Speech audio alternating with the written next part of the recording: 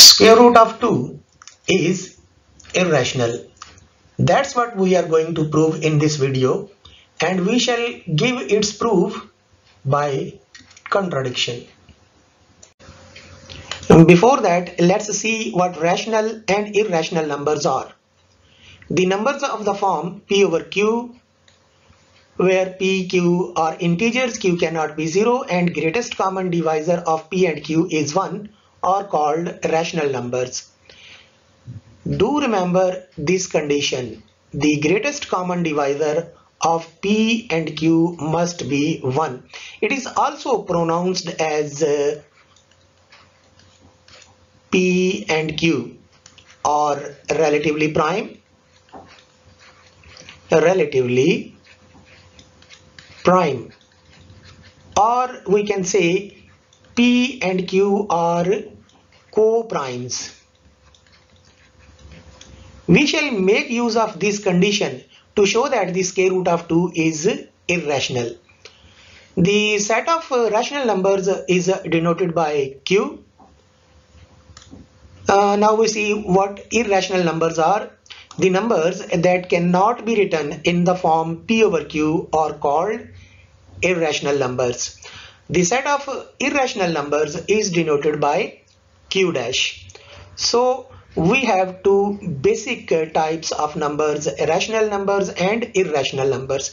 And we know that the set of real numbers is the union of rational and irrational numbers. Uh, real numbers are just union of rationals and irrationals. Also we know that uh, the intersection of q and q dash that is rational and irrational numbers have nothing in common. So uh, a rational number cannot be irrational and an irrational numbers cannot be a rational number. Uh, now we go to the proof. Now we prove that square root of 2 is irrational. We prove it by contradiction that is, we want to show that square root of 2 is irrational, but on contrary, we suppose that square root of 2 is rational. Uh, so if square root of 2 is uh, rational, then it can be written in the form p over q, where pq are integers, q cannot be 0, and greatest common divisor of p and q is 1. Now take square on both sides square root of 2 whole square is equal to p over q whole square.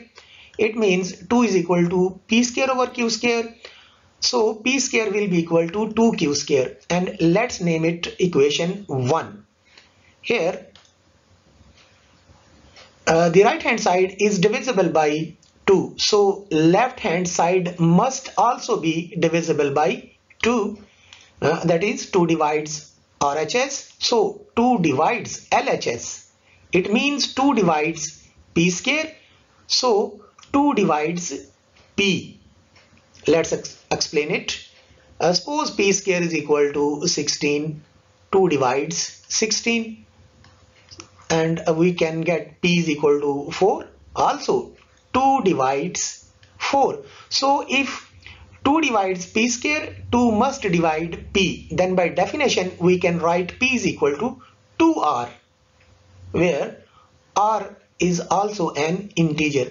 Now we replace this value of uh, p in equation 1. So equation 1 becomes 2r whole square is equal to 2q square, 4r square is equal to 2q square. Uh, apply cancellation law, uh, we can we get q square is equal to 2r square. Now here again see the right hand side is divisible by 2 so the left hand side must also be must also be divisible by 2 that is 2 divides RHS so 2 divides LHS that is 2 divides Q square and 2 divides Q. Now here uh, notice that 2 divides P also 2 divides Q therefore the greatest common divisor of P and Q has now become 2. But what we supposed is that uh, the greatest common divisor of P and Q is 1. Now this is contradiction to our supposition because we suppose that the uh, square root of 2 is rational so greatest common divisor of P and Q must be 1. So our supposition is wrong. And what we supposed? We supposed that square root of 2 is rational. So our supposition is wrong. Hence square root of 2 is irrational because if a number is rational then it cannot be irrational and vice versa.